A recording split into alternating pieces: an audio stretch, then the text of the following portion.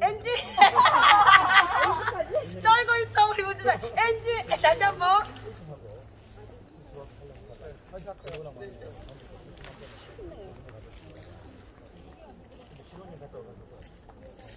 네, 안녕하십니까.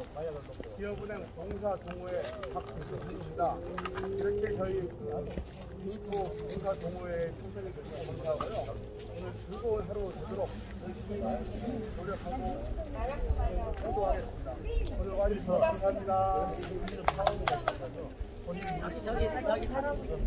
사진 찍으셨어요? 아침에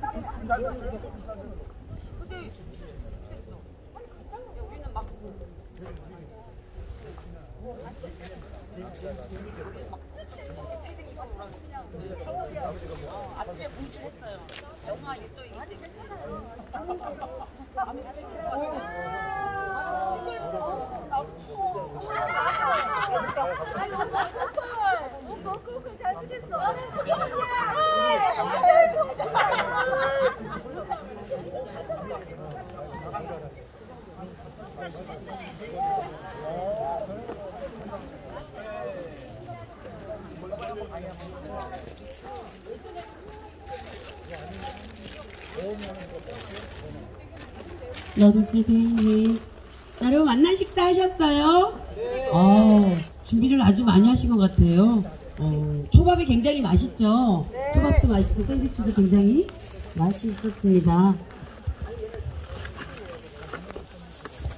잠시 후 저희들 이제 행사 시작하니까 어, 이쪽으로 다들 모이셔서 앉아주시면 좋을 것 같아요.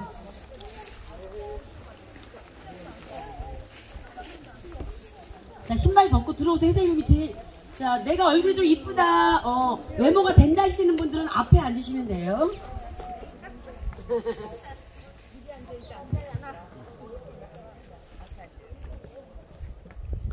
자 앞에 오셔서 어, 마스크 하시고.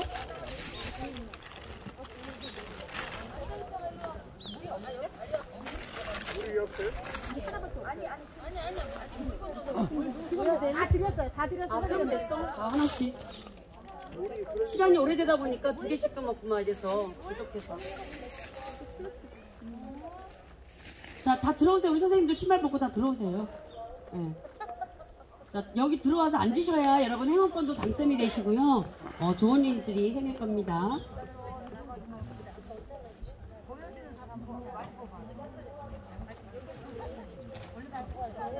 함재 회장님 오셨나요? 아, 어디? 아, 여기시구나. 아, 마스크 써서 멋진 모습이 안 보여서.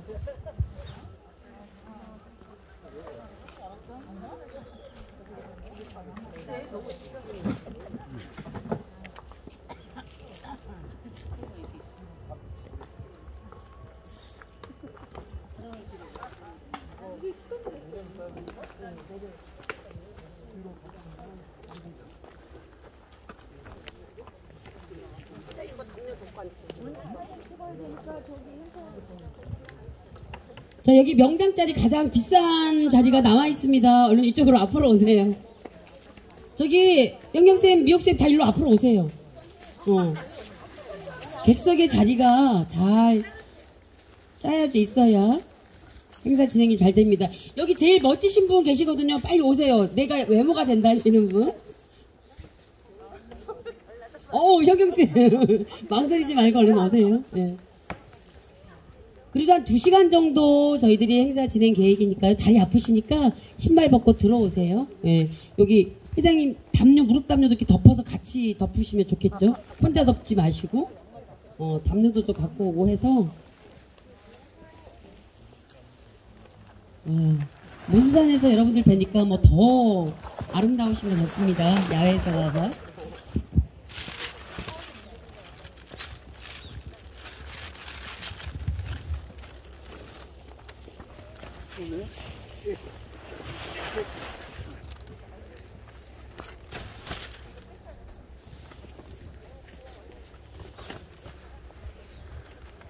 자, 저희들 어, 시작하기 전에 한번 집중하기 위해서 박수 세 번을 한번 쳐볼까요? 박수 세 번 시작하면 어, 마스크를 해도요, 구령은 하셔도 돼요. 짝짝짝이라고 해봅니다. 자, 박수 세 번 시작!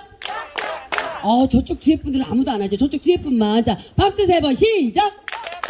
아, 우리 부지점장님이 안 하신 관계로 다시 한번 하겠습니다. 박수 세 번 시작! 어, 지금 제가 알기로 지금 여기 한 40명 정도가 모여 계신데 목소리가 제 목소리보다 안 나오는 것 같아요. 다시 한번 박수 세 번 시작! 자, 이번 박수 세 번 하면요. 문수산이라고 할 거예요. 박수 세 번 시작! 어, 이제 조금 뭐가 맞춰지는 것 같아요. 다시 한번 박수 세 번 시작! 자, 박수 네 번 하면 기업은행이라고 합니다. 박수 네 번 시작! 어, 박수 다섯 번은 뭐라고 할까요? 어? 아, 기업은행짱. 어, 좋습니다. 박수 다섯 번 하면 기업은행짱이라고 합니다. 박수 다섯 번 시작! 어, 여러분들이 요즘 코로나로 인해서 많은 여가 활동이나 이렇게 노래 교실이나 어디 이렇게 여러분들 많은 학습하시는 곳에 이게 잘 안 가다 보니까 감들이 많이 떨어지신 것 같아요. 앞에서 보니까 박자가 아주 박자감이 리듬감이 많이 떨어집니다. 자, 다시 한번 박수 세 번, 박수 네 번, 박수 다섯 번 가보도록 하겠습니다. 박수 세 번 하면 뭐라고요? 문수사. 야, 여긴 다 IQ 120 이상이신 분들만 오신 것 같아요. 이 어려운 걸 기억하시네. 자, 박수 네 번 하면 뭐라고요?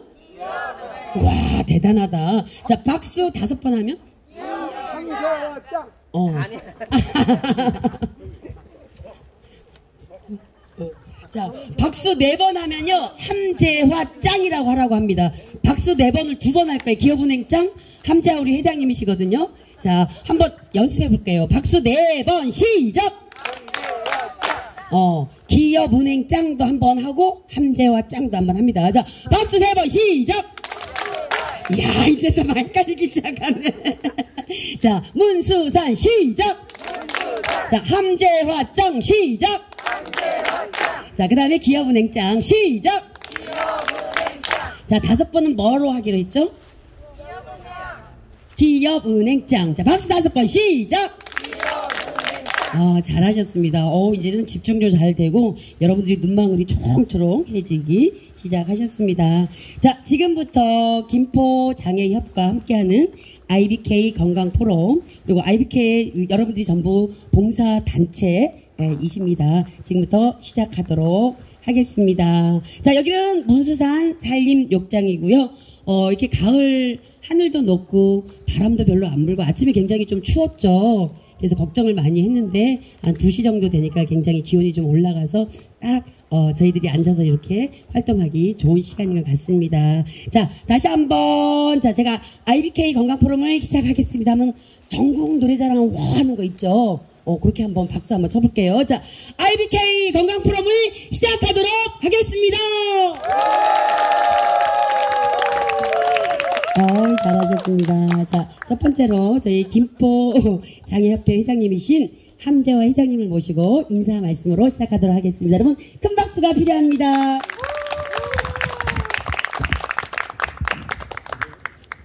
아, 올라가세요.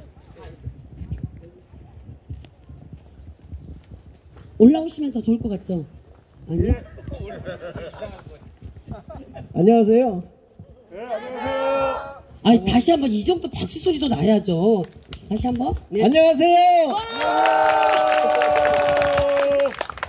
반갑습니다. 뭐 저는 연예인도 아니고 말 주변도 없어가지고 밤새도록 어떻게 인사 말씀을 드려야 되나 생각했는데 저 여러분들 건강한 모습으로 마- 이렇게 만나 뵙게 돼서 대단히 감사합니다. 그 저는 그 한국 산재 장애인 협회 김포지회 지회장 함재합니다. 이 자리를 그 빌려서요. 저희 그 홍진의 그 IBK 그 봉사 동호회 박지현 지회장님께 그 부지장님께 진짜 감사의 말씀드린다고 제 스스로 항상 이렇게 기도하고 또 염려하고 있습니다. 덕분에 저희 지혜를 항상 후원해 주시고 또 저희를 후- 지원 그 지혜를 또 이렇게 봉사 이런 그 행사에 이렇게 참여하게 해주신 것에 대해서 저 진심으로 그 박수를 보내드립니다. 한 박수 한번 쳐주십시오. 제가 그 저희 그 산재 그 지혜를 그, 그 임명을 받아가지고 이제 그 이제 11월이 거의 다 되는데요. 그 여기에 후원하시는 분들이 많이 계십니다. 그래서 이제 후원을 받아서 그 차상위계층이나 불우한 이웃, 그 김포 지혜에 있는 그런 장애인들을 그 이웃을 찾아가면서 후원을 많이 하고 있습니다. 그 이번에 또 마지막으로 뭐 올해 진짜 본의 아니게 여러분이나 저나 그 알지도 못하고 들어보지도 못한 코로나 19 때문에 그게 뭔지 모르게 참 어디 가고 싶어도 가지도 못하고 또 맛있는 거 있어도 먹- 먹지도 못하고 또 즐거운 곳이 있는데도 가지도 못하는 이런 현실에서 이런 장소를 또 마련해 주시고 전반기에도 또 이런 장소를 마련해 주고 또 후반기에도 또 이렇게 마련해 주셔가지고 이렇게 건강한 모습을 뵙게 되니 진짜 감사드립니다. 오늘 뭐 두 시간 동안의 그 행사에 빠짐없이 즐겁게 즐거운 마음으로 즐겨주셨으면 감사하겠습니다. 고맙습니다. 어, 연예인이 아니라고 하셨는데 말씀도 굉장히 잘하시고 어, 턱스크 이렇게 좀 반은 가렸는데도 저렇게 잘생기신 분 못 뽑으셨죠. 자 다시 한번 큰 박수 부탁드립니다. 자 다음은 저희 이 행사를 주관하는 IBK 기업은행 부지점장님을 모실 건데요. 어, 여러분 큰 박수가 더 필요합니다. 박지현 부지점장님을 큰 박수로 모셔주십시오. 안녕하십니까. 행복한 남자 박지현입니다. 제가 김포에 온 지가 지금 조금 되는데요. 최근 들어서 제가 식당에 갈 때마다 아, 많은 오해를 합니다. 갑자기 난생 처음 온 분이 저한테 오셔서 사인을 해달라고 하지 않았나? 또는 사진을 같이 찍자고 하지 않나? 왜 그런가 하고 봤더니 제가 누구하고 많이 닮았다면서요. 네. 이재명 지사하고 닮았다고. 맞아요. 어, 공교롭게도 그분이 좋은 분인지 어떤 분인지 모르겠는데 어쨌든 그분하고 닮았다고 사인해달라는 사람까지 있다는 거 보면은 어, 좋으신 분 같아요. 제가 아, 김포에 와가지고 어, 지역아동센터를 시작으로 해서 쭉 봉사활동을 하다 보니까 장애인 협회를 뒤늦게 제가 알게 됐습니다. 어, 우리나라 그 최고의 지성인이라고 하시는 어, 김영석 교수님이 예전에 쓴 책에 이런 말이 있습니다. 장애인에 대해서 쓴 얘기인데요. 우리가 신체적으로 갖출 것을 다 갖추지 못한 사람을 장애인이라고 부르며 정상적으로 자라지 못한 사람, 어, 사람들은 난쟁이라고 부르는 것과 같이 생활과 인생 속에서 확고한 신념 없이 살고 있는 우리 자신 역시 생활의 불구자나 인생의 난쟁이 아닌가 하는 그런 말씀을 하신 적을 보고 야 참 멋진 말인데 이 사회에 과연 어떠한 도움을 내가 하고 있을까? 저는 아이들만을 대상으로 해서 한 10년 전부터 봉사활동을 해왔는데요 이제 뒤늦게 어, 저 역시도 아, 그 말씀처럼 장애인이라는 생각 때문에 좀 다시 한번 되돌아보고 그리고 이제 이렇게 활동하게 됐습니다. 상반기에 여기에서 어, 어, 행사를 갖게 됐는데요. 하반기에는 우리 김영희 원장님을 통해서 어, 노래 그 교실을 한번 열려고 진행을 했었습니다. 안타깝게도 이 코로나19 이것 때문에 이 마스크를 착용하고 하지 않고는 행사를 못한다는 그 통보를 받게 됐습니다. 어, 제 나름대로 좀 경비라도 좀 많이 드려가지고 여러분들한테 모두 선물도 드리고 그다음에 기념품 좋은 거 드리고 어, 기억에 남는 그런 행사를 가지려고 했는데 이 환경이나 문제적인 그 열악하지 열악하다 보니까 어, 하여튼 최대한 준비를 했습니다. 어, 오늘 하루 많이 즐겨주시고 특히 예, 우리 오늘 참석하기로 하신 그 박한순 박사님 오늘 사실 박한순 박사님을 띄우는 이유가 어떤 사람은 왜 외지 있는 사람을 띄우냐 하는데 그게 아니고 작년 12월부터 제가 김포에 오자마자 시행한 게 김포 포럼입니다. 김포 포럼에 우리 박한순 박사님의 인성 교육을 통해서 12월 달, 1월 달 순차적으로 하다가 이 코로나 19 때문에 이게 중단이 됐거든요. 그래서 박한순 박사님 생일을 맞이하고 또 우리 김포 포럼을 통해서 많은 분들이 박한순 박사님에 대한 강의를 듣고자 하는 열망이 있다 보니까 오늘 한번 오시게 되면은 이 생일 파티를 거대하게 하려고 했던 겁니다. 이 부분에 대해서 혹시 여러분들의 오해가 없으시길 바라겠고 어, 오늘 이, 이 생일 축하를 또 주선하기 위해서 이민아 원장님이 의정부에서 봉사활동을 끝마치고 잠시 후에 여기 도착합니다. 떡도 뭐 10여만 원어치 해오시고 케이크도 가져오신다고 하는데 그때 또 한번 오시면은 단체 사진 한번 찍기로 하고 어 그때까지 열심히 즐겨주시고 오늘 하루 행복한 하루 되시기를 어, 바랍니다. 이상입니다.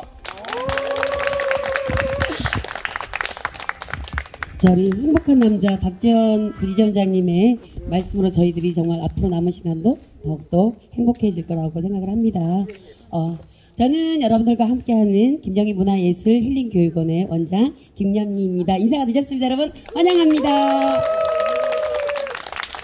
어, 어, 아까 우리 부지점장님 말씀 따라 정말 저희들이 한 번도 경험해보지 못한 이 코로나라는 이런 걸 겪으면서 정말 힘드시죠. 어, 저도 이제 문화예술 쪽으로 활동을 하는 사람인데 너무나 힘들어서 어, 정말 우울증이 올 지경이거든요.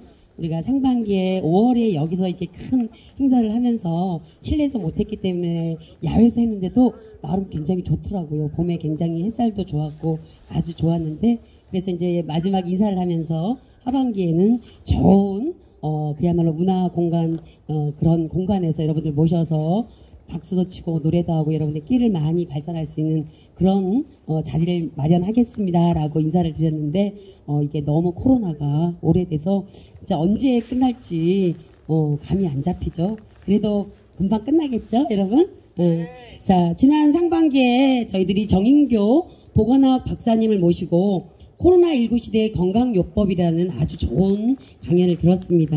어, 제가 그 강연을 듣고 지금까지 아무 일 없이 건강하게 지금까지 올 수 있었던 것 같습니다. 자, 이번 시간은 정인교 보건학 박사님의 코로나19 시대 건강요법이라는 좋은 강연을 듣는 시간입니다. 여러분, 큰 박수로 환영해 주시기 바랍니다.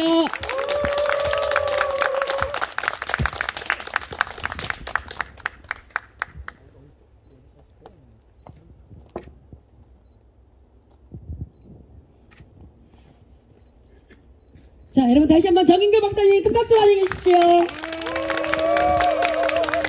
감사합니다. 마이크 안 벗어도 될까요? 잘 안 들려요? 마이크 안 벗어도 될까요? 이거 야외로 괜찮습니다. 반갑습니다.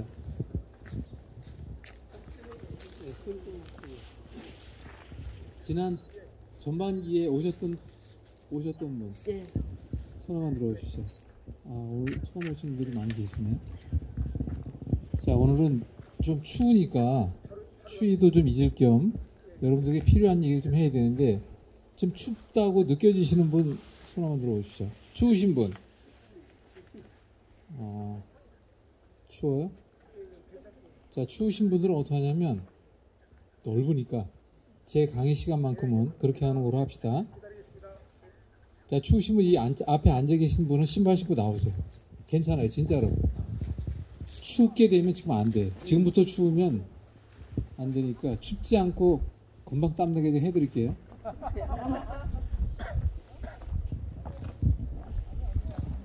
자, 추우신 분만 먼저 따라 합니다.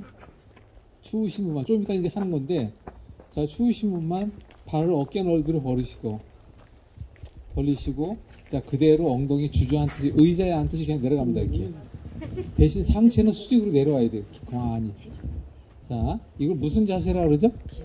그렇죠 기마 자세 지금 하고 있는 자세가 조금 힘들면 조금 위로 올라가도 괜찮아요 그러다 좀 괜찮다 다시 내려가는 거예요 아시겠죠? 나는 허벅지가 꿀벅지다 그때 어디까지 내려가느냐 깊이 내려가는 겁니다. 이렇게. 그리고 이렇게 하고 있으면 돼요. 만약 이렇게 하다가 힘들면 다시 또 한 가지는 발 뒤꿈치를 들고 한껏 듭니다. 양발 다. 아주 그렇게 하고 계시는 거예요. 이 두 가지를 하는 거예요. 이거를 이렇게 하다 보게 되면 제 이야기가 좀 귀퉁으로 들린다. 그럼 코퉁으로 들으시기 바랍니다. 아무튼 추운 거보다 나은 거예요. 여기 와가지고.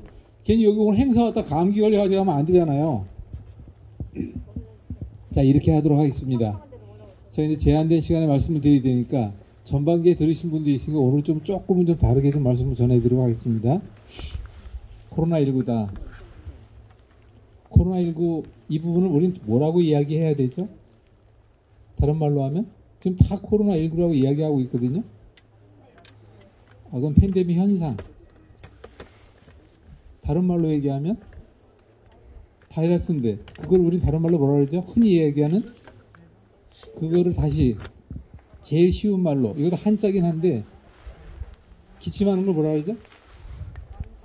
감기예요, 감기. 다 같이 코로나19는 무엇이다? 감기입니다. 그래서 감기 질환을 호흡기 질환이라 그러죠. 그 호흡기 질환을 일으키는 원인 균을 뭐라 그러죠? 바이러스라 그래요. 그래서 코로나19 바이러스라고 얘기하는 겁니다. 그럼 이 시간에 제가 왜 소도 이렇게 말씀드리냐면 자 우선 코로나19는 무엇이다? 감기다라고 생각하시면 되는 거예요. 뭐라고요? 감기. 기 맞아서 아무도 안 하고 있네.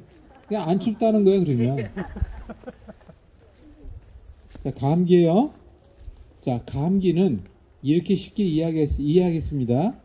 지금은 왜 이렇게 감기 가지고 난리 법석들을 떨고 있을까라는 걸 생각하시면 됩니다.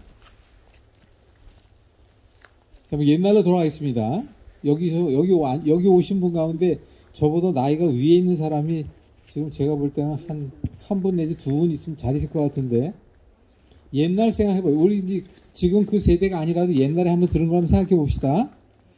옛날에도 감기가 자주 왔죠. 잘 이해하셔야 돼요. 옛날에 감기 왔으면 보통 며칠 만에 감기를 이겼다 그때? 아니에요. 보통 그렇죠. 3일이 3일. 감기가 옛날에 3일을 날 넘어가지 않았습니다. 근데 요즘은 3일이 아니라 30일을 넘어가고 있죠. 자, 또한 가지, 요것만 지 오늘 핵심은 이거예요.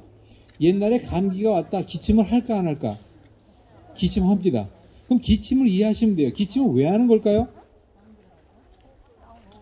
아니에요. 자, 그럼 기침은 내가 의도적으로 하는 걸까? 내가 의도하지 않고 하는 걸까? 그걸 잘 이해하셔야 돼요. 다 같이 기침 한번 연습, 마스크 썼으니까. 자, 이렇게 하고, 기침 시작! 아! 이 게 뭐예요? 기침. 내가 의도하지 않지만 이 기침은 누가 시키는 걸까요? 네? 다시. 누가 시키는 걸까? 아니야. 네? 그렇지. 앞에 누가 내라, 이리 오세요. 선물 하나 드리겠습니다. 자, 기침은 누가 시키고 있다? 네. 그럼 또 있어요, 이제. 기침이 시키는 게 있는데 또 있습니다. 감기가 올 때 또 있어요. 아시는 분? 예? 그게, 그게 그거지. 또 다른, 다른 거. 그렇지. 콧물, 저 분홍색 옷한번 갖다 주시기 바랍니다. 자, 콧물이에요. 자, 요 대목을 생각합시다. 요즘에 감기가 오면 콧물이 나올까, 안 나올까? 자, 그게 핵심이에요. 제가 오늘 여러분들 말씀드리고자 하는 것은 요즘에 감기가 걸리면 콧물이 안 나옵니다. 그런데 우리가 옛날로 돌아가서 콧물이 다 나왔을까 안 나왔을까? 그래서 형한테 물려받은 검정 교복이 제가 국민학교 다닐 때 콧물을 어디다 닦아서 여기가 어떻게 됐어? 반들반들했어요. 지금은 콧물을 구경할 수가 없습니다. 자, 콧물은 누가 내보내는 걸까? 그렇지, 뇌예요. 콧물은 누가 내보낸다? 뇌. 자, 그러면 감기라고 하는 바이러스균이 주로 어디에 머무르냐면 목에 머물러요. 그래서 목을 기관의 입구라고 얘기합니다. 그래서 목구멍이라는 이 입구가 기관의 구멍인데 감기는 폐라고 하는 문제와 연관이 되니까 바로 숨을 들이마실 때 그 바이러스라는 것이 목에 걸려요 주로. 그런데 목에 있는 부위를 또 우리 이름하여 무엇라고 부를까요 여기 양옆을? 편, 그렇지 편도. 그리고 또 인후 뒤에는 후도 이렇게 불러요. 그러니까 감기가 올 때 신호가 또 하나 오는 게 어디로 온다? 편도선으로 옵니다. 그럼 편도선이 부어요 안 부어요? 부어서 더 심해지면 편도선 뭐라 그러죠? 염 이라 그래요 염. 기관이 부으면 또 기관 염. 더 세로 내려가서 기관지 염. 더 심하면 폐 염. 자 오늘 핵심이 바로 그거예요. 요것만 여러분들 오늘 이해하시면 이것을 이겨낼 수 있는 핵심을 노하우를 배워갑니다. 자, 또 보겠습니다. 옛날에는 감기가 오면 콧물을 흘렸는데 지금 왜 콧물을 흘리지 않을까라는 그것을 알아야 되는데 혹시 아시는 분 여기 계시나? 왜 요즘 콧물을 안 흘릴까? 희한하게 모두가 안 흘려 모두가 마스크를 썼기 때문이다? 아니에요. 아, 그것도 있지만, 자, 그것도 있지만 그건 아니에요. 요즘 왜 콧물을 흘리지 않을까? 예? 그렇지. 비슷하게 했어요. 예. 요즘은 몸을 춥게 하는 걸 하지 않습니다. 자, 옛날로 또 가보겠습니다. 옛날에 우리 구조라는 것은 온돌이라는 게 있어가지고 아rum목은 어떻게 해요? 절절 끓어요. 그런데 옛날에 창문은 뭐로 만들었죠? 창호지. 그런데 그 얇은 종이라는 창호지로 만들었고 아루목은 절절 끓으니까 그런데 추운 겨울에도 그 두꺼운 이불을 뒤집어 쓰는데 입이 밖으로 나오면 추운 겨울에 뭐가 보여? 김이 보여요. 이건 다시 얘기하면 우리가 생활하던 옛날의 집은 집안의 온도와 바깥의 온도가 큰 차이가 없었어요. 그런데 요즘은 어떨까? 아파트 안에 겨울에 온도가 몇 도일까? 25도 심지어는 30도까지 대표해요.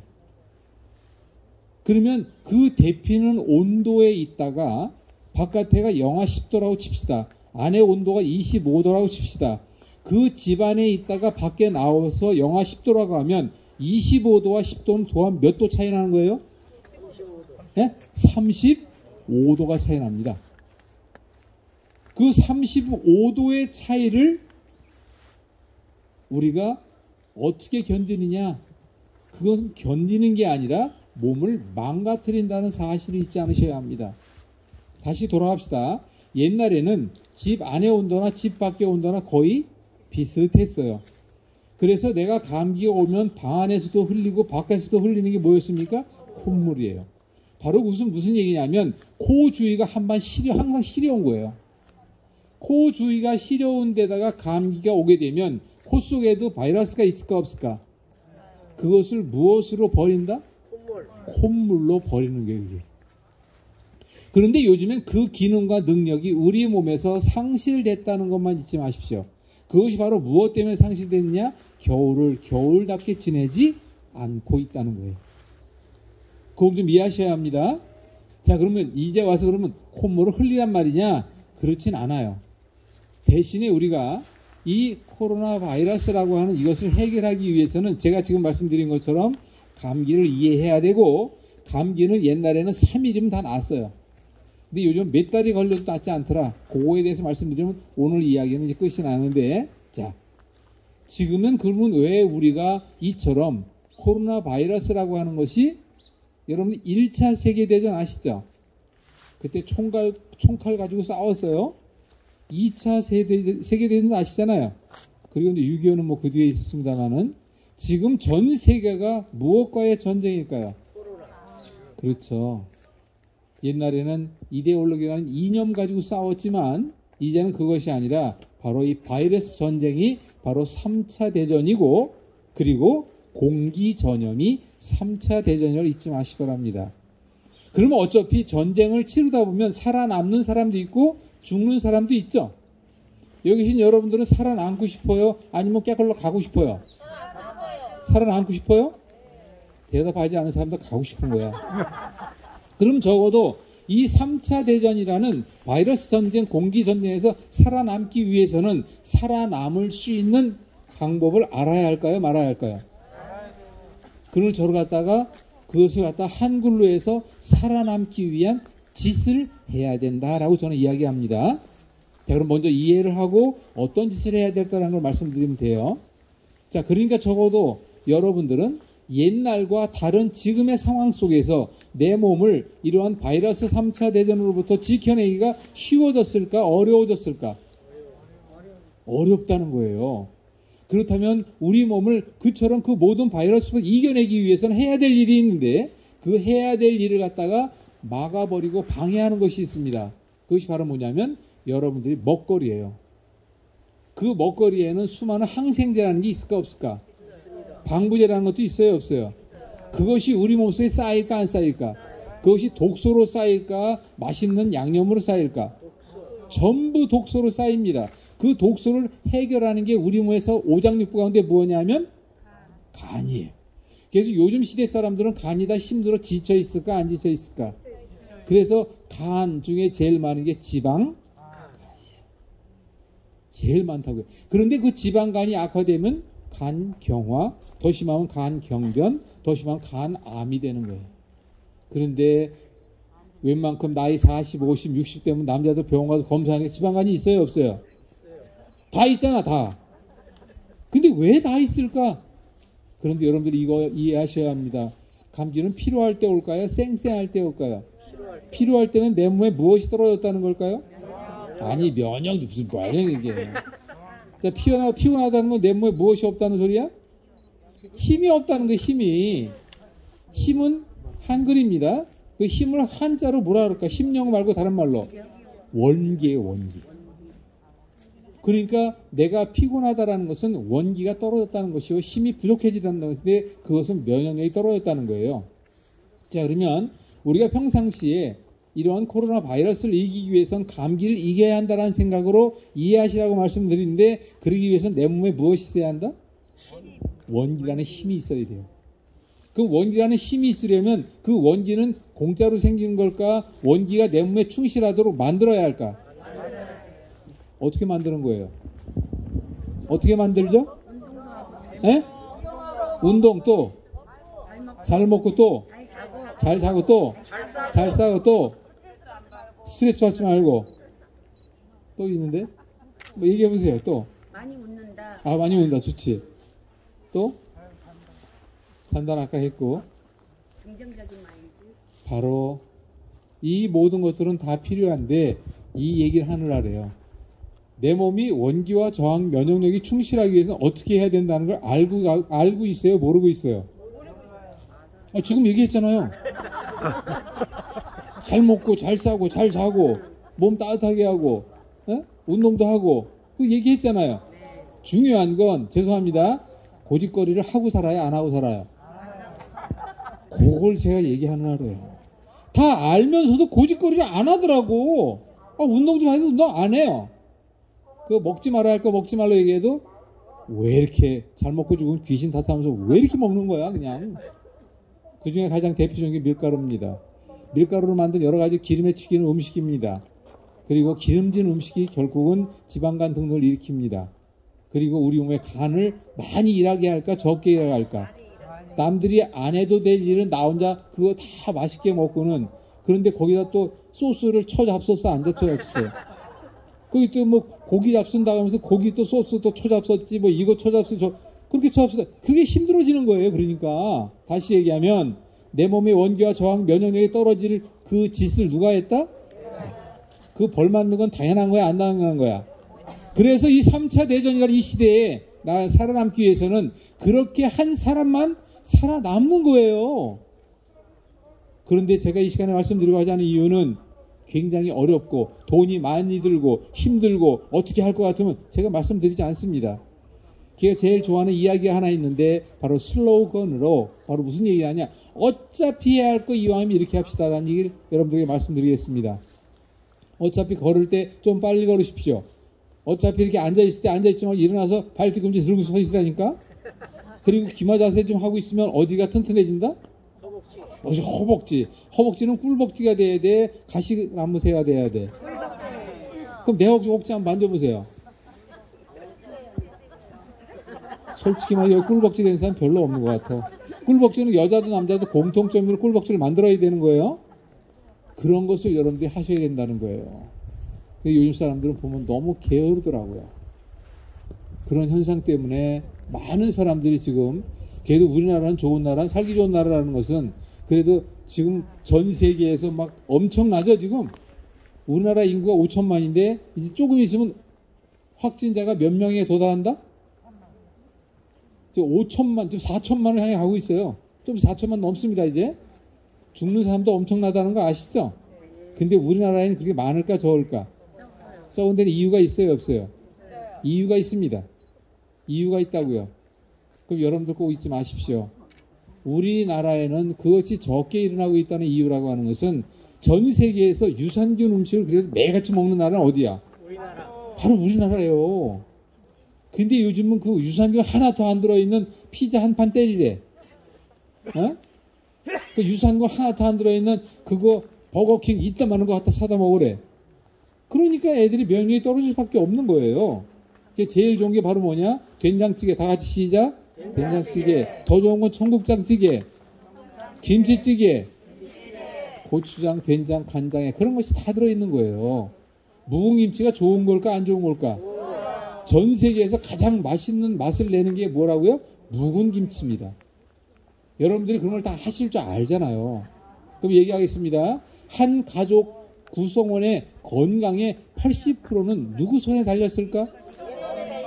말은 잘해. 그런데 여러분 주부들이 만들어 놓은 그 가정의 식탁이 온 가족의 건강을 지키는데 가장 소중한 누구의 건강도? 남편이에요, 남편. 아, 나야 당연한 거지. 내 탓이니까. 그러니까 남편을 이렇게 만들어야 돼, 이렇게 만들어야 돼. 이렇게 어, 남편은 확실하게 내고 믿어요. 이쪽에 있는 분은 이거래. 밤에 맨날 꼬집어야 그게 되냐고 이게 이게 돼야지. 그게 돼야죠. 잊지 마시 기 바랍니다. 여러분들이 주부들이 준비하는 식단에 그 식단의 결과가 그 가족의 건강의 80% 이상을 책임지는 것이요. 그 식단이 우리 가정의 구성원의 3대, 4대를 이어 내려가는 바로 유전적인 문제를 일으킵니다. 그것이. 그런 걸 여러분들이 이해하셔야 돼요.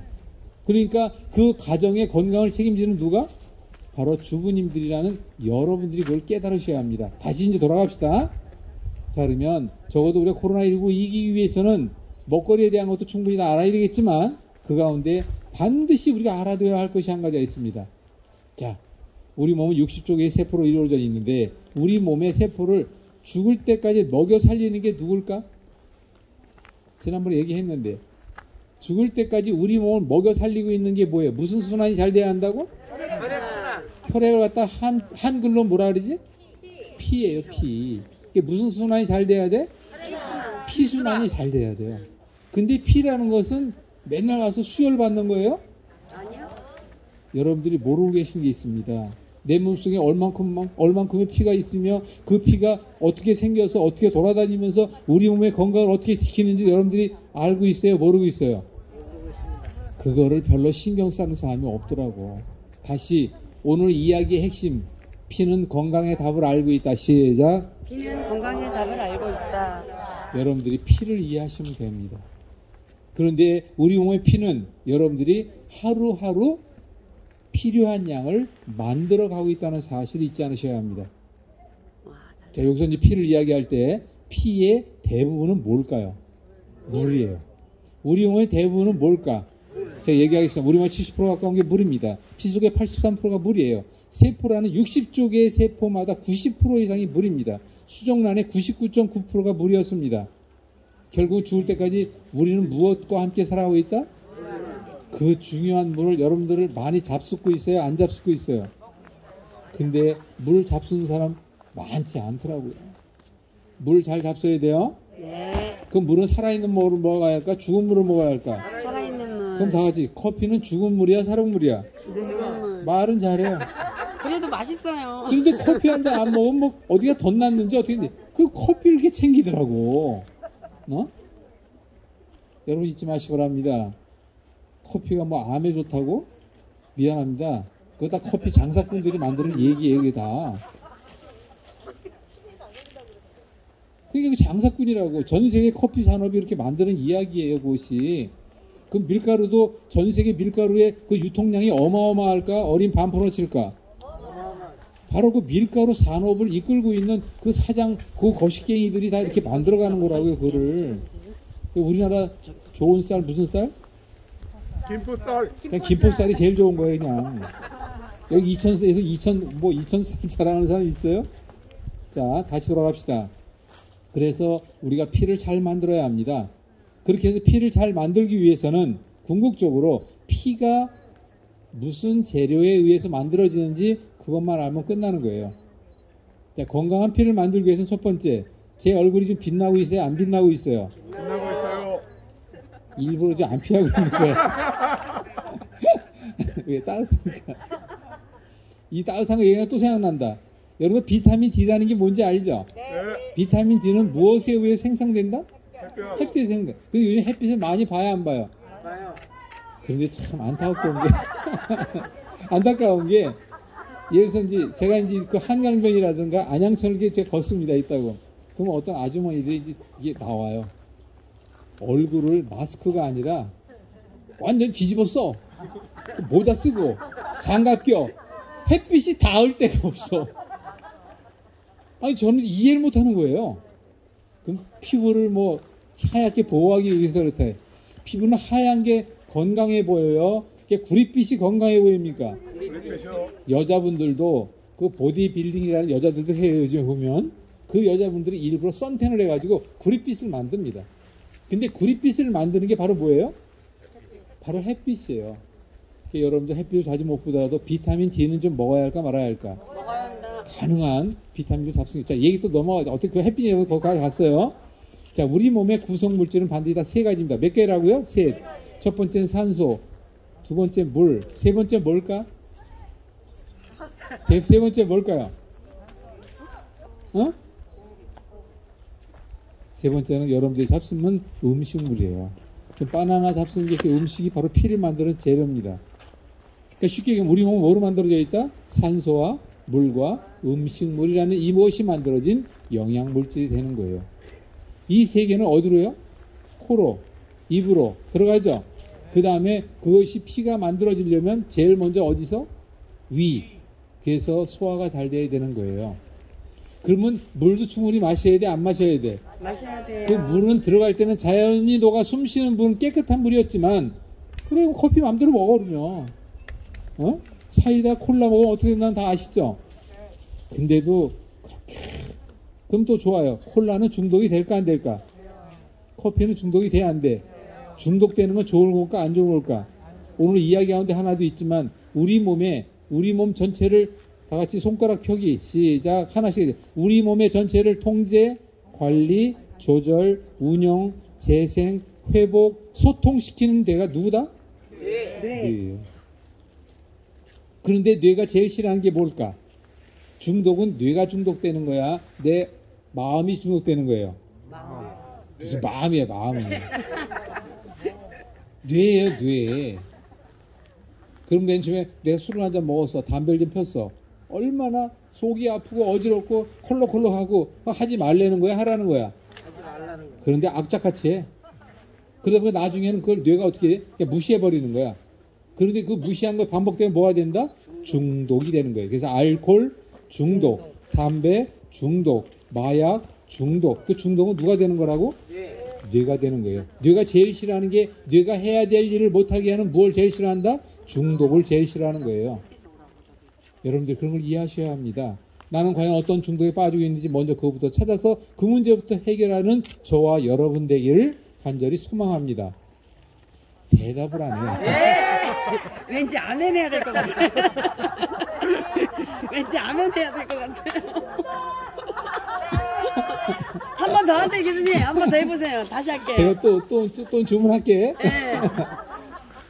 자, 그래서 여러분들이 그런 걸 이해하셔야 합니다. 그런데 이제 다, 또 갑시다. 이제 위장에서 했잖아요. 물을 먹었잖아. 물은 12만 킬로그램 넘는 우리 몸 전체의 모든 혈관을 통하여 몸 60쪽의 모든 세포에 공급한 찌꺼기를 물로 다시 걷어와요. 그래서 그 물이 나오는 곳을 어디라고 하죠? 오줌. 오줌. 적어도 그러면 오줌 양은 많아야 될까 적어야 될까? 근데 오줌 양이 많으려면 뭐가 많이 들어가야 돼? 그럼 물은 마음대로 이제 답은 다 가르쳐 줬으니까. 근데 물은 차가운 물을 먹어야 돼? 따뜻한 물을 먹어야 돼? 특히 이런 추울 땐 더욱 더 그렇죠. 그럼 생각해 봅시다. 점심을 잘 먹은 젊은이들이 일터에서 일을 합니다. 그리고 점, 이 점심을 먹고 나와서 뭐 한 잔씩 들고 갑니까? 거기 속에 뭐가 띄워져 있어요? 우리 몸속에 위에는 발효라는 발효 온도가 있어야 돼요? 없어야 돼요? 그게 몇 도일까? 그게 37도예요, 몸속은. 그런데 음식을 잘 먹고 그 얼음물이 들어가면 온도를 떨어뜨려, 안 떨어뜨려? 그래가지고 아르목에 묻어놓은 그 메주를 갖다 덮어놓던 이불을 치워버리면 메주가 잘 떠, 안 떠? 뜬다는 얘기는 한자로 발효란 뜻이에요. 그러니까 우리가 요즘 젊은이들 그러고 있으니까 정자수가 많아졌어, 적어졌어? 그러니까 정자수가 5분의 1로 줄었답니다. 5분의 1로. 어? 그러니 그 5분의 1로 줄은 정자가 비리비리한 게 가가지고 그 비리비리밖에 더 낳겠냐고. 근데 그 비리비가 나왔는데 코로나19를 딱 마주쳤어. 그거 살겠어? 죽겠어? 아, 그런 걸 우리가 좀 생각해 봐야 되는 거 아니에요? 그러면 적어도 남자들이 정자가 5분의 1이 아니라 다시 5로 회복하려면 우선 건강해야 돼요. 내가 건강하다는 것은 정말로 소화가 잘 되고 대변이 빵빵 나가고 소변이 날아가는 파리를 떨어뜨리고 어? 그 다음에 잠을 자는데 업어도 누가 그냥 업어도 모를 정도로 그냥 업어가 모를 정도로 잠을 자는 거야. 그 온몸에 열이 펄펄 끓어. 그리고 내 마음은 누가 와서 뭐라 그래도 원수를 사랑하려니까 원수를 사랑해. 왼뺨을 때리니까 어디까지 내밀어? 오른뺨. 오리를 같이 가자 몇 리를 가? 10리를 가. 속옷을 다니까 어디를 달래? 겉옷을 달래. 여러분들 이 얘기를 믿습니까?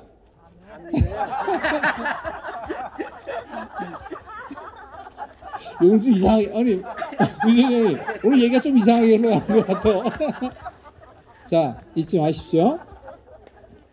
그러면 좀 전에 소화 얘기했고, 소변 얘기했어요. 그런데 소변은 우리 몸에 들어간 물의 종말 처리를 소변이라 하고, 음식물의 종말 처리가 뭘까요? 아시는 분? 그, 똥이라고 얘기하는 사람 누구야? 뭘 대변은 무슨 대변이야? 아유, 난 대변이라고 하는 사람 제일 밉더라. 뭘 대변이야, 대변이야. 다 같이 뭐라고요? 그렇지. 박사님. 네. 왜 여성들의 목소리만 듣고 계시는 거죠? 왜 아니, 멀리 떨어져 있으니까. 자, 적어도 우리는 이거 이해하셔야 합니다. 기껏 잘 먹고 난 뒤에 설사하면 그거 꽝이야.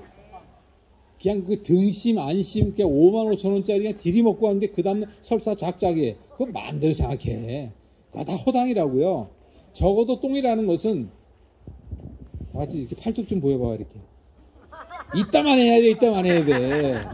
이따만 하는 게 하나 뚝 떨어지고 그냥 아이 시원해로 나와야 되는 거야. 그랬더니 저쪽 집 남편은 그 내 고생하는 거 맨날. 변기가 맨날 막힌다면서요. 그럼 똥똥 때문에. 실제로 그런 사람이 있어요. 실제로. 그런데 여러분들이 변비가 막히는 한이 있더라도 우리 집 남편 똥덩어리가 이만하면 저녁에 일을 잘하는 사람이에요. 이거라고 이거. 다시 얘기하겠습니다. 우리 몸 전체에 영양분을 만들고 난 음식물 종말 처리를 이름하여 뭐라고 한다? 똥. 다 같이 손 이렇게 하고 일곱 개 얘기할 거야. 똥은 물 위에 떠야 한다. 황금색이 돼야 한다. 에? 바나나 형태가 돼야 한다. 그리고 잔병감이 없어야 한다. 냄새가 없어야 한다. 하루에 한두 번 가야 한다. 마지막 휴지가 필요 없는 변을 봐야 합니다. 그런데 만약 어 햇빛 없어지면 안 되노. 아무튼 이 대변이 자 기억하십시다. 가만있어 내 평생에 그런 적이 있든가 없든가. 자, 한 번이라도 있어요 없어요? 있습니다. 적어도 한두 번은 있었겠지. 한두 번. 알았다고. 자, 여러분 잊지 마시기 바랍니다. 적어도 이제부터 여러분들이 앞으로 살아 남아 있는 살아가기 위한 남은 평생에 이제부터 여러분들의 건강은 제가 일러드린 요것을 만들어 가셔야 돼요. 자, 그럼 이렇게 얘기하겠습니다. 뇌. 제2의 뇌는 누굴까? 제2의 뇌는 어? 아이, 우리 대표님. 저 우리 부지점장님 거예요, 이거. 제2의 뇌는 뭐라고? 손이. 제3의 뇌를 아시는 분? 어?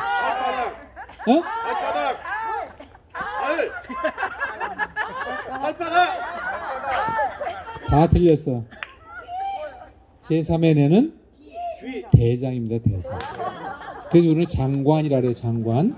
왜 그러느냐? 우리 몸의 면역의 80%, 70%를 어디에서 담당할까? 바로 장이에요. 장에서도 마지막 종말 처리하는 1.7m가 되는 무엇이다? 대장. 대장은 소장은 정 가운데 쪼글쪼글쪼글쪼글 이렇게 있어요. 대장은 상행결장, 그러니까 위장 그리고 맹장이라는 게 있잖아요.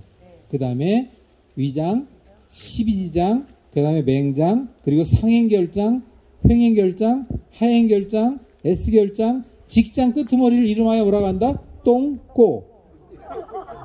그러면 여러분들이 잊지 않으셔야 할 것은 우리 몸 전체를 뺑 감싸고 있는 게 누구다? 대장이야. 이유가 있는데 그 이야기 하려면 두 시간 걸리니까 아무튼 그런 것만 알고 그럼 우리가 적어도 어떻게 해야 되느냐. 이 대장의 역할을 여러분들이 이해하셔야 되는 거예요. 그럼 대장에서는 여러분들이 어려운 거 한 가지 얘기했습니다. 제가 먼저 얘기할게 우주의 75% 그리고 우리 몸속의 63% 그리고 이제 마지막 이 땅의 에너지원 아시는 분 뭘까? 수소. 어, 맞아 수소. 너왜 또 와? 그러니까 자 다 같이 수소라고 시작. 여러분들 공부 하나 합시다. H2O가 뭘까? 물이에요. 어? 근데 O가 뭘까? 산소. H가 뭘까? 그렇지. 수소 두 고에 산소 하나가 붙으면 뭐가 된다? 물이 되는 거예요. 그러니까 우리 몸 전체의 모든 것은 산소와 아니 산소와 그렇지. 우리 몸의 63%는 무엇이다? 수소입니다. 요것만 이해하시면 돼. 왜 제가 수소를 말씀드리냐면 여러분들이 죽어서 우주로 뿅 날아갔어요. 1억 년이 전하, 전, 1억 년이 지나도 썩을까 안 썩을까? 안 썩어요. 무엇이 없기 때문에? 아니야. 무엇이 없기 때문에? 무엇이 있기 때문에? 산소가 없고 수소가 있기 때문이에요. 그러면 수소는 무슨 역할을 하느냐? 요거까지 어차피 얘기 나오고 요거 이제 얘기합시다. 우리 몸에는 산소가 필요하죠. 그런데 그 산소가 다 좋은 산소일까? 나쁜 산소도 있까? 그 나쁜 산소 이름이 뭐라고 할까? 아니, 또, 또 활성산소 누가 그랬어? 어, 이리 와. 맞아. 활성, 활성산소. 우리 몸 전체의 90% 이상은 무슨 산소 때문이다?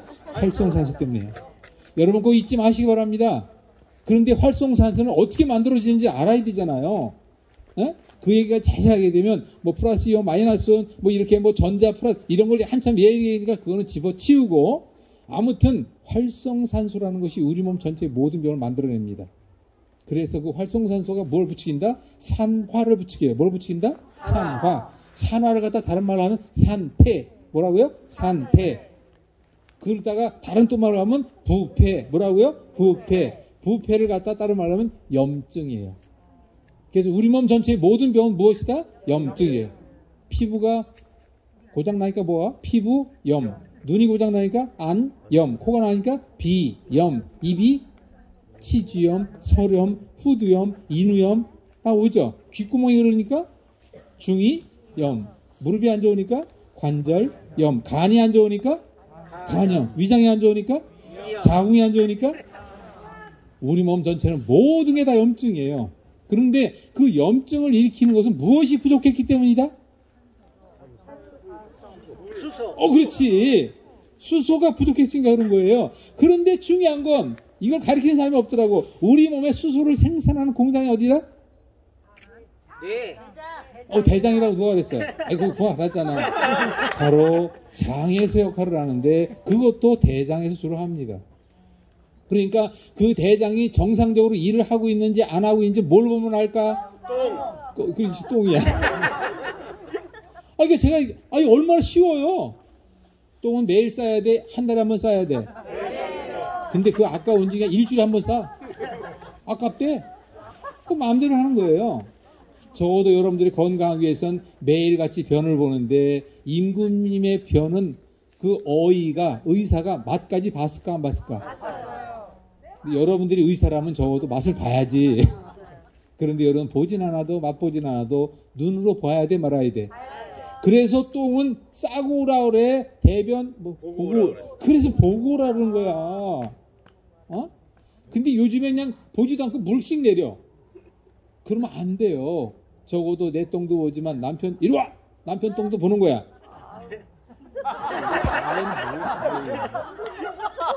여러분들이 적어도 안 자녀를 사랑한다면 자녀의 무엇부터 검사해라?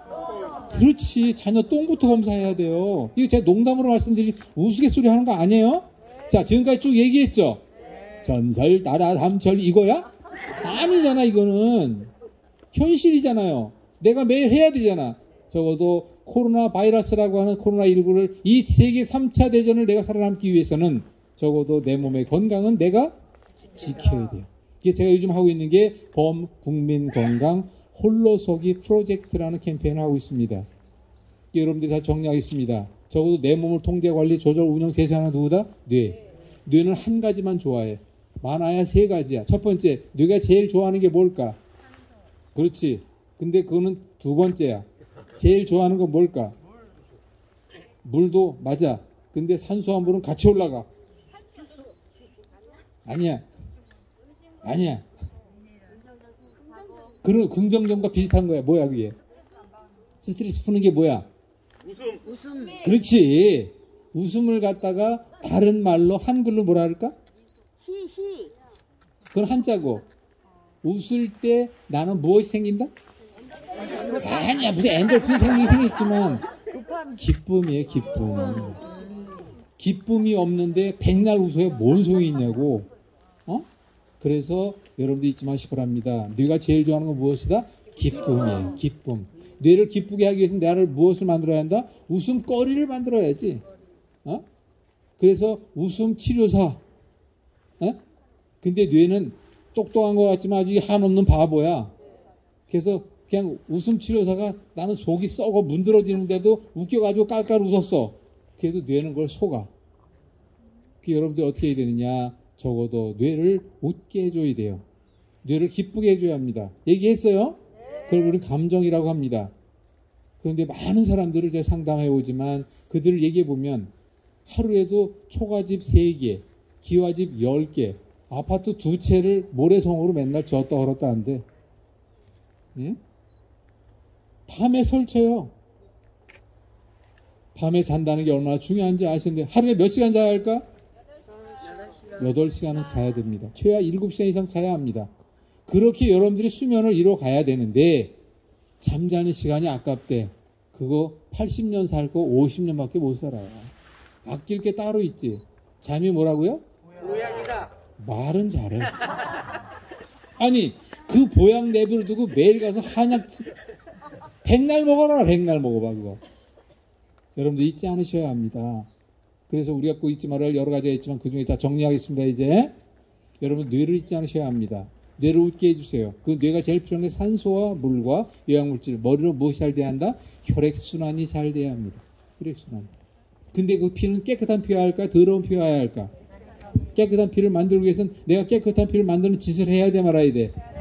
그냥 만약에 커피 선택해. 맨날 삼겹살 선택하라니까? 칼국수 매일 먹어. 애들한테 라면, 야, 그 라면 있잖아.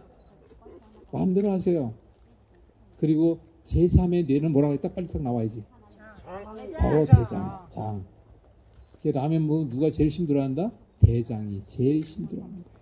유익균과 유해균이 있는데 그 유해균이 아닌 유익균의 유익균, 좋은 균의 먹거리가 들어가야 되는데 그 좋은 균의 먹거리를 우리 다른 말로 뭐라고 한다? 어, 그렇지. 누가 얘기했어요? 아, 맞아. 이리 오세요. 바로 식이섬유예요. 근데 식이섬유는 어디에 많이 있다? 채소. 그렇지. 야채. 그리고 곡물. 예? 야채 곡물에 있어요. 자, 그런 걸 여러분들 많이 잡숴야 되겠죠? 그럼 또 하나 가겠어요, 이제. 우리가 먹는 모든 음식은 내 몸속에서 무엇을 만들기 위한 것이다? 아시는 분? 핀데, 핀데, 피되기 전, 영양소인데. 당. 이거 좀 어려운 얘기인데, 이거는. 유자로 시작, 유자로 시작해. 유산균. 유산균도 있죠. 효자로 시작해.